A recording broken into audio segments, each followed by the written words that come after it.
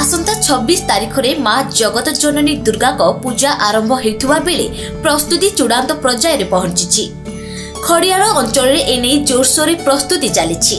ଖଡ଼ିଆଳ ସହରରେ ପଟ୍ଟନାୟକପଡ଼ା ରାଜାପଡ଼ା ଓ ବିଦ୍ୟୁତ୍ ବିଭାଗରେ ସାର୍ବଜନୀନ ଦୁର୍ଗାପୂଜା ଅନୁଷ୍ଠିତ ହେଉଅଛି।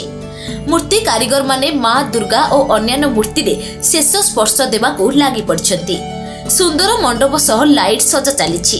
ମାଙ୍କ ପାଇଁ ରୂପା ଓ ସୁନା ଅଳଙ୍କାର ଖଞ୍ଜିବାର ବ୍ୟବସ୍ଥା କରାଯାଉଛି ବୋଲି କମିଟି ସଦସ୍ୟମାନେ ପ୍ରକାଶ କରିଛନ୍ତି। ସେହିପରି ତୁଲକା ଗ୍ରାମରେ ଏ ବର୍ଷ ଦୁର୍ଗା ପୂଜାର ସୁବର୍ଣ୍ଣ ଜୟନ୍ତୀ ପାଳନ ହେଉଛି। ପୂର୍ବରୁ ଏହି ପୂଜା ପାଞ୍ଚ ଦିନ ଧରି ହେଉଥିବା ବେଳେ ଏ ବର୍ଷ ଠାରୁ ନବରାତ୍ରି ପୂଜା କରାଯାଉଛି।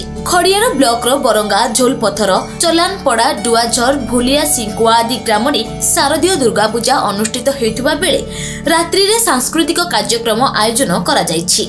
ପୂଜା ସମୟ ବିସର୍ଜନ ସମୟରେ ଶାନ୍ତି ଶୃଙ୍ଖଳା ରକ୍ଷା ପାଇଁ ପୋଲିସ ପ୍ରଶାସନ ତରଫରୁ ସବୁ ପ୍ରକାର ବ୍ୟବସ୍ଥା କରାଯାଇଥିବା କହିଛନ୍ତି ଖଡ଼ିଆଳ ଆଇସି ଅନୁରୁଦ୍ଧ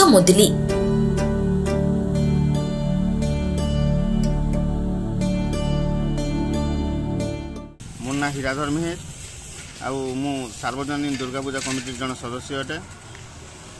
ଶୁକ୍ଲା ଦୁର୍ଗା ପୂଜାକୁ ପଚାଶ ବର୍ଷ ପୂର୍ତ୍ତି ଉପଲକ୍ଷେ ଏହି ବର୍ଷ ସୁବର୍ଣ୍ଣ ଜୟନ୍ତୀ ପାଳନ କରିବା ସହିତ ନବରାତ୍ର ପୂଜା ଅନୁଷ୍ଠିତ ହେଉଛି ଏବଂ ଏଥିପାଇଁ ମଣ୍ଡପ ସାଜସଜ୍ଜା ମୂର୍ତ୍ତି ନିର୍ମାଣ ଏବଂ ମାଙ୍କ ପାଇଁ ରୂପା ଅଳଙ୍କାର ବ୍ୟବସ୍ଥା କରାଯାଇଛି ଗାଁରେ ସମସ୍ତ ଗ୍ରାମବାସୀଙ୍କର ଉତ୍ସାହ ଉଦ୍ଦୀପନା ବଢ଼ିବାରେ ଲାଗିଛି ଏବଂ ନବରାତ୍ର ପୂଜାର ପ୍ରତି ରାତିରେ ବିଭିନ୍ନ ପ୍ରକାର ସାଂସ୍କୃତିକ କାର୍ଯ୍ୟକ୍ରମ ଯଥା ମହିଳା ଦଣ୍ଡ ନୃତ୍ୟ ପୌରାଣିକ ନାଟକ ସାମାଜିକ ନାଟକର ବ୍ୟବସ୍ଥା କରାଯାଇଛି ଏବଂ ସମସ୍ତ ଗ୍ରାମବାସୀ ଉତ୍ସାହର ସହିତ ଏହି ଉତ୍ସବକୁ ପାଳନ କରୁଛୁ ଏବଂ ମା ଦୁର୍ଗାଙ୍କ ଆଶୀର୍ବାଦରୁ ଏହି ପୂଜନୋତ୍ସବଟି ସମ୍ପୂର୍ଣ୍ଣ ସଫଳତା ସହିତ ସମ୍ପନ୍ନ ହେବ ବୋଲି ଆମର ଆଶା ଏବଂ ବିଶ୍ୱାସ।